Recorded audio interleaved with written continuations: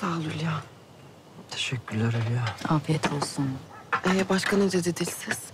O kadar işte. Yani Ferhat Bey mesajı biraz daha geç görse...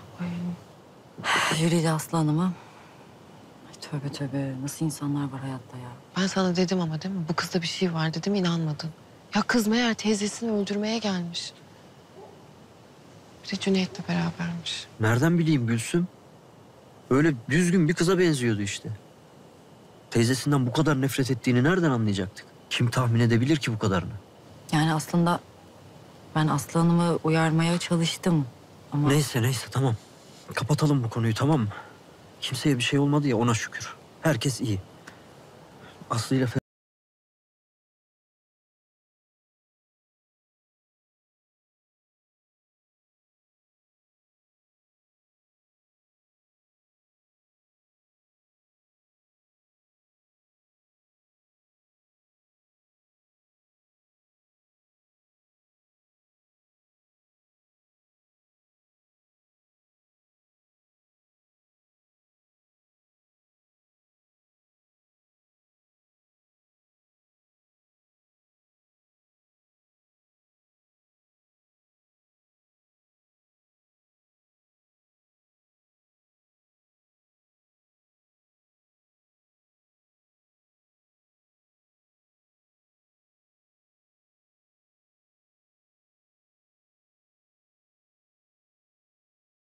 İstersen.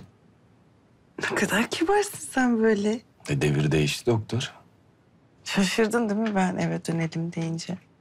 Yani. Şaşırtmıyorsun beni artık. Sadece burada iyi zamanlar geçirmediğimiz için gelmezsin diye düşündüm o kadar.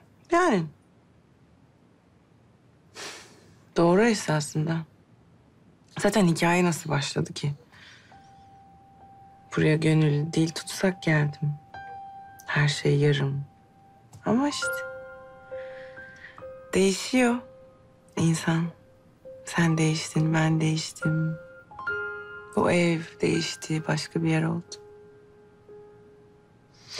Ama ben önce bir banyo yapayım. Şu hastaneyi bir atayım üstümden.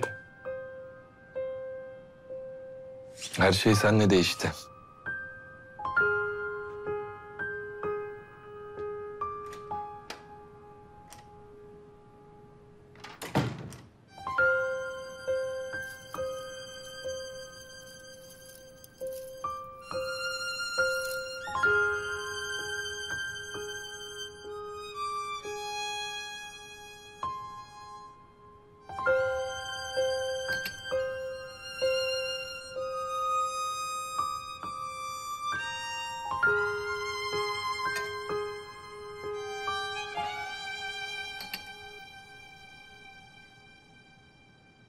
Kanalımıza abone olarak tüm videolardan anında haberdar olabilirsiniz.